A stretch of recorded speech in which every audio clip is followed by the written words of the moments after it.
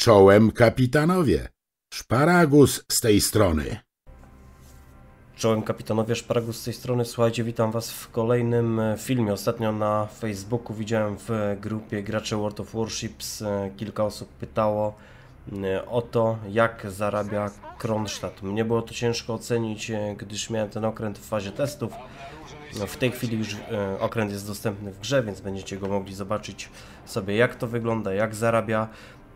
Bitwa, słuchajcie, nie jest jakaś powiedzmy mega koksiarska i na takich bitwach najlepiej widać zarobki okrętów, na takich bitwach powiedzmy sobie dość przeciętnych. Wydaje mi się, że ona jest lepsza niż przeciętna bitwa, ale to już wykonanie tej bitwy pozostawiam Waszej ocenie. Durker 77 jest sponsorem z klanu Ares 2, czyli z Ares Akademii.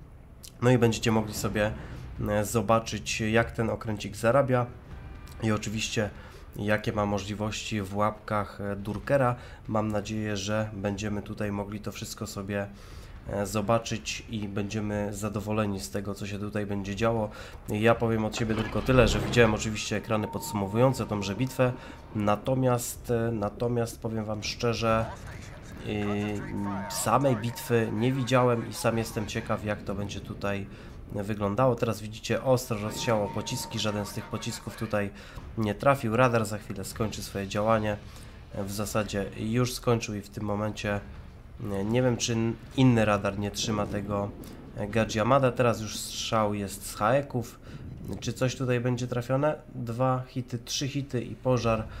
Dwa razy obrona bazy, więc zobaczymy czy ta Gajiamada będzie się palić. Nie, ugasiła się, bo tutaj punkty zadanych obrażeń nie rosną, więc niszczyciel się mm, o, um, użył, że się tak wyrażę, erki, ale zobaczcie, niewiele z niego już po tych trzech hitach z 305 mm zostało, więc wydaje mi się, że za chwilę będzie jego koniec.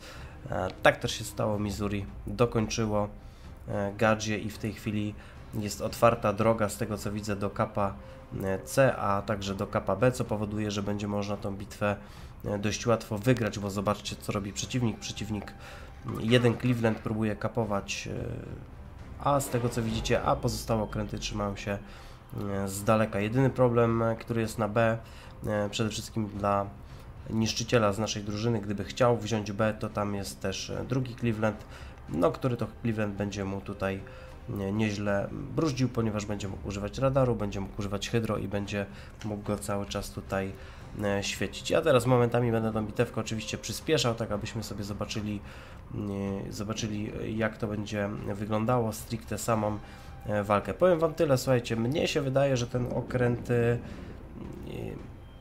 mo, może tak, może powiem tak, moja subiektywna ocena jest taka, że gdybym miał wybierać ja osobiście między Musashi a między Kronstadtem i grałem obydwoma okrętami w fazie E, testów. Nie mam ani jednego, ani drugiego. E, niedługo będę miał odpowiednią ilość expa na to, aby któryś z tych okrętów e, nabyć. Mm, I powiem Wam tak, zastanawiam się, czy kupić Kronstadt, ponieważ grając Musashi i grając, grając Kronstadtem, więcej przyjemności dawała mi gra Kronstadtem. Czy Kronstadt jest lepszy od Musashi? Trudno powiedzieć, słuchajcie. To jest krążownik, przy czym musicie wziąć pod uwagę to, że to jest krążownik bardzo nietypowy. Po pierwsze jest w stanie bardzo dużo odbić nawet od pancerników, bo ma fantastyczny pancerz jak na krążownik. Myślę, że w tych bitwach, e, które rozgrywałem na streamach i, i w tych, które jeszcze są nadal dostępne na moim kanale, można to, można to sobie dogłębnie obejrzeć i, i, i nabrać jakiegoś tam przekonania do tego okrętu. Natomiast e, ja mam zastrzeżenia troszeczkę co do e, tutaj celności i skuteczności pocisków. Celność pocisków jest, e, jeżeli chodzi o dyspersję tą podaną, którą możecie sobie sprawdzić, sprawdzić w porcie, jest bardziej pancernikowa, natomiast jeżeli chodzi o pepeki, no to trafiając na przykład często w krążowniki macie nad penetracją z uwagi na dość dużą siłę penetracji tych pocisków. Natomiast przeciwko pancernikom te pociski są mm, nie zawsze skuteczne, tak jakbyśmy chcieli, więc e, takie nie mam stuprocentowej pewności, że, że będę chciał ten okręt e, nabyć. Natomiast spośród tych dwóch, jeżeli ja miałbym wybrać, to ja osobiście wybrałbym Kronstadt z tego względu, że mnie gra tym okrętem sprawiała więcej przyjemności aniżeli granie Musashi. Musashi dla mnie było takie dość bezpłciowe. I ja rozumiem fanów Musashi, ja rozumiem, że to jest Yamato poniekąd na dziewiątkach. Jeżeli wylosuje Was na topce, to to tak, moi drodzy, macie rację. To, jest wtedy okręt, który jest w stanie zmieść w zasadzie wszystko e, z powierzchni Ziemi. Ja wiem, że na dziewiątce macie wówczas 460 mm. To oznacza, że w zasadzie każdy okręt, włącznie z Yamato, jesteście w stanie od frontu e, penetrować i wbijać cytadele bez względu na to, jak się do Was ustawi.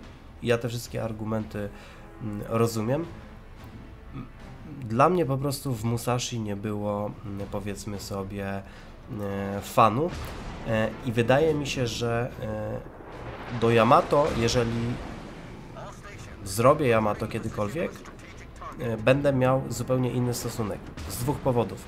Po pierwsze, to jest okręt, który w jakiś sposób potrafi się obronić przed, mówię już o Yamato, przed atakami lotniczymi, mm, ponieważ ta obrona przeciwlotnicza nie jest taka jak na powiedzmy tierze szóstym, tak jak to wygląda w przypadku Musashi, a po drugie, a po drugie jest inna Sigma, co powoduje, że te pociski w Yamato są, słuchajcie, yy, no skuteczniejsze, co by tu nie mówić. One bardziej lecą w zwarciu, a i tak gracze na samo Yamato, jeżeli chodzi o, o dyspersję i pewne e, mechanizmy, które się tutaj przy strzelaniu dzieją, e, narzekają, więc, więc możecie sobie wyobrazić ci, którzy nie mają Musashi, że z Musashi również bywają e, problemy. I drugi powód, dlaczego bym zdecydował się wziąć Kronstadt, moi drodzy, dlatego, że dlatego, że już mam jeden pancernik dziewiątotirowy, jest to Missouri.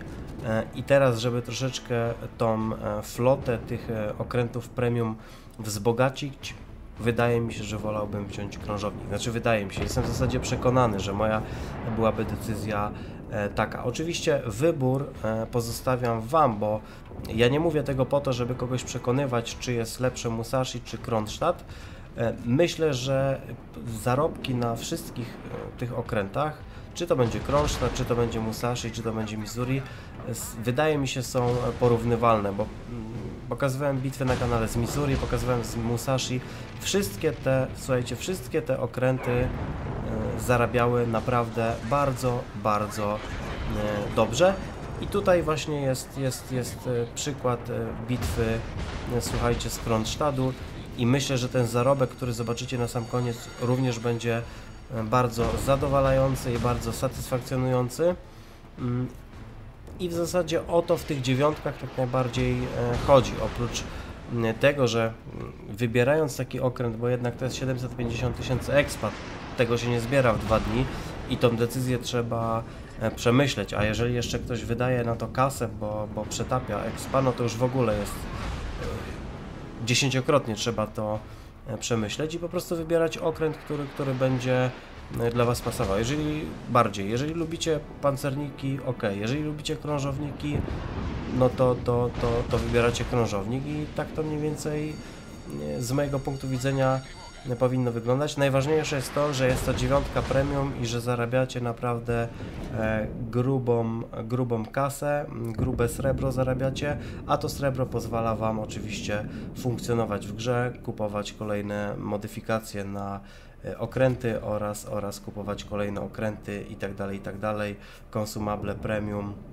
więc, więc w zasadzie e, tego chyba nie trzeba tłumaczyć. Minęła o, gdzieś widzę połowa bitwy, Mamy zadanych nieco ponad 50 e, tysięcy obrażeń, więc e, na tą chwilę mm, szału nie ma, ale tak jak powiedziałem w całej bitwie nie będzie szału, ale będzie dobrze, będzie, będzie dobrze, będziecie mogli sobie tutaj mm, zobaczyć właśnie przy takiej przyzwoitej bitwie, jak to zarabia. Zobaczcie, teraz polosowało dwie cytadele, więc na bliskim dystansie ten okręt, jak widać, potrafi tutaj zrobić mm, krzywdę. W tej chwili Donskoj zszedł, no i teraz e, czas byłoby się zabrać za tego Clevelanda. Wcześniej jednej z tych salw nie polosowało w Clevelanda, mam nadzieję, że teraz, chociaż tutaj tak troszeczkę e, no niestety nie, niestety nie. Myślałem, że mu troszeczkę nosa przytrzemy, ale to się mm, nie udało. Teraz mamy skontowanego Bismarka, więc myślę, że jedna salwa będzie z pepeków a następne już będzie trzeba chyba strzelać z hajków, chociaż widzę, że się kolega tutaj zdecydował na zupełnie inny wariant. E, nie przeładowywał na, na haeki, ale jak widzicie Bismarck jest tutaj na ogrysku w zasadzie, więc myślę, że każda następna salwa, jeżeli będzie celna, to spowoduje, że ten okręt może wylądować w porcie. Teraz wszystkie trafienia za 0, 3, widzicie, jeden, jeden pocisk pokruszony i do tego e, trzy rykoszety, ale już Bismarck pokazał bok, nawet nie zdążył Durker strzelić i tego okrętu nie ma. Jeszcze tutaj salwa na dużym dystansie do Duke of Yorka. No i teraz będziemy mogli się spróbować skonfrontować bezpośrednio z Iowa. Zobaczymy mm, jak to starcie będzie wyglądało. Sam jestem ciekaw, czy na takim mniejszym dystansie, jeżeli by Iowa pokazała burtę, jak tu będą działały, funkcjonowały 305. Szkoda, że to nasze Missouri troszeczkę nie próbuje przepchnąć, ale ono kapuje, więc jakieś tam pożyteczne zadania dla naszej drużyny wykonuje. No i teraz będziemy mogli tutaj postrzelać do Ioły. Do Ioły, jak widzicie, lecą obeki. I zobaczmy jak tutaj będzie wyglądała sytuacja z podpaleniami, z pożarami. E, obrażenia weszły całkiem takie, powiem szczerze, przyzwoite. Jest do tego pożar, więc wszystko zmierza w dobrym kierunku. Tych obrażeń, jak widzicie, już się zrobiło prawie 100 tysięcy. No i teraz trzeba uważać tutaj e, na to, co robi Iowa i do kogo przede wszystkim strzela, no ponieważ może nam tutaj zrobić dość sporą krzywdę, mimo, mimo że mamy niezły pancerz, no ale tutaj kolega nie złapał takiego kąta, aby, aby, aby tym e, pancerzem coś tam e, dingać. Teraz salwa mam wrażenie strzelona e, za nisko, już są przeładowane pepeki i za chwilę być może będzie okazja do tego, aby jeszcze ukarać Clevelanda. Niestety ten Cleveland tutaj chowa nam się za wyspą i i niestety te pociski już tutaj nie zdążą e, do niego e, dolecieć. Stówka przekroczona, na razie mamy dwa fragi. Zobaczymy, czy tych fragów uda się zrobić więcej. Na tym etapie no, bitwa jest w zasadzie rozstrzygnięta. Słuchajcie, przeciwnik ma tylko dwa krążowniki, które już są dość mocno obite. Do tego jeszcze ma lotniskowiec. Mam wrażenie, że zostało mu już niewiele E, samolotów, a nawet jeżeli są samoloty, no to przy tej ilości okrętów i przy tym, że jeszcze działa cały czas Essex e, z drużyny e, zielonych, w zasadzie nic się tutaj niedobrego nie powinno wydarzyć. Na bardzo bliskim dystansie teraz wypływa Cleveland i myślę, że będzie bardzo srogo, moi drodzy, ukarany. Zobaczcie, tylko jedna cytadela, bo nie było szans na więcej przy tej puli punktów wytrzymałości, które, które on tutaj miał, to w zasadzie była salwa rozstrzygająca, być może teraz będzie jeszcze jedna, zobaczymy. Ten Cleveland kontuje, ale pamiętajcie, że to jest lekki krążownik, a strzelamy z działu 305 mm, więc tutaj możemy naprawdę uzyskiwać e, penetrację pod różnymi kątami dosyć e, sporo. Oczywiście jak się Cleveland ustawi rufą do nas, tak jak w, tak jak w tej chwili, to trudniej jest trafić ten okręt, ponieważ no, dyspersja nam e, przeszkadza. Natomiast jeżeli pokazuje bok, zobaczcie, jest Cytadela, 124 tysiące obrażeń na tą chwilę i jeszcze jak widzicie, będzie szansa być może tutaj strzelić sobie do Essexa pod warunkiem, że ktoś byłby go w stanie e, wykryć, bo oczywiście zasięg tutaj e, dział na to, moi drodzy, e, pozwala. No i jest w tej chwili Essex, oczywiście strzelamy tutaj z samolotu spotującego. On płynie tutaj przy samej linii, więc, więc ta jego prędkość chyba będzie E, nie za duża, teraz od linii się odkleił, troszeczkę przyspieszył, no i lecą kolejne pociski e, przeciwpancerne. Ta salwa jeszcze w dużej części tutaj przeleciała, jak widzicie, ale niestety tylko dwa pociski trafiły i oczywiście nadpenetracja to jest to, co osobiście wkurzało mnie w tym okręcie, więc mamy już w zasadzie 130 tysięcy obrażeń i tak naprawdę e, ta bitwa, moi drodzy, się kończy. Za chwilę zobaczymy ekrany, które będą ją podsumowały i w tym momencie będziecie mogli sobie zobaczyć, jak wyglądają zarobki.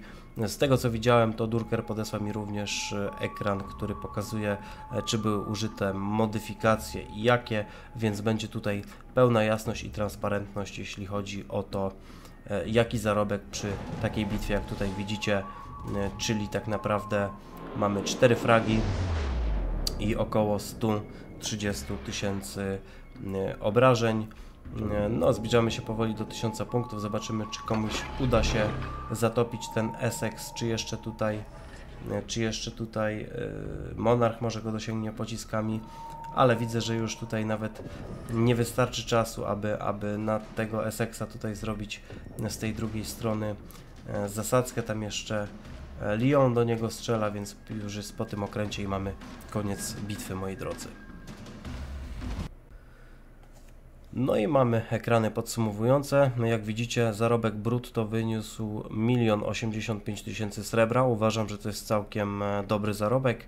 W sumie mamy 4 fragi, mamy dreadnota, mamy medal wsparcia, 6 pożarów, 5 cytadel. Było strzelane trochę z haeków i z pepeków, więc wygląda to w mojej ocenie całkiem nieźle. Jeżeli chodzi o expa, to tak jak tutaj widzicie, 2509 expa bazowego, więc bitwa e, raczej z gatunku udany, chociaż nie była to nie wiadomo jak e, wypasiona bitwa. Jeszcze do tego oczywiście e, zwycięstwo i tu mamy jeszcze obrażenia zadane poszczególnym okrętom.